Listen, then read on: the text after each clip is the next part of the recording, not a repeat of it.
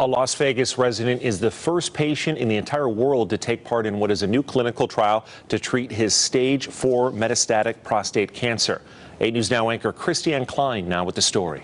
O'Brien Anthony Bracich was diagnosed nearly 10 years ago with stage 4 prostate cancer that had spread to his bone. He was given two months to live. Now, almost 10 years later, he's taking part in a new clinical trial to try to slow the cancer down. Uh, the phase one drug is called ARV-110.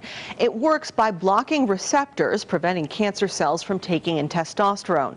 According to Anthony's doctor, Nicholas Vogelzang with Comprehensive Cancer Center, the drug was developed out of Yale. Now, he says this is not foolproof. It doesn't take the place of chemotherapy, and eventually testosterone will most likely find its way around the block to receptors. But Anthony says after two and a half months on the drug, he feels great. I'm just hoping for people in the future that they make a big breakthrough here, that uh, things will go great for other people, and uh, you know, it, it would. I, I, I, think about it I, that I'm the first one that brings tears to my eyes that I could do something for you know other people. Well, since this is just phase one, the plan is for other patients to also take part in the clinical trial of the drug and then hopefully get public approval in the next few years.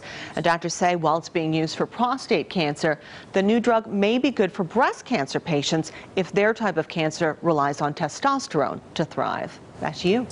Sounds promising. Thanks, Christiane.